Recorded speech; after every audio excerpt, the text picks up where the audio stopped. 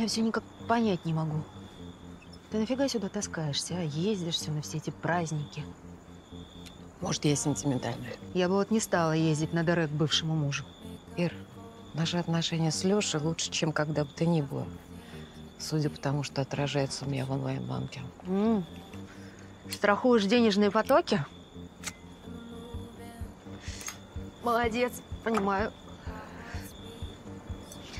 А ему этот цирк зачем? У Леши все вещи должны быть на своих местах. Чай в чайнике, чайник на столе. Слева ручка, справа мобильник. Охранник в машине. Тут же на одна, тут же на другая.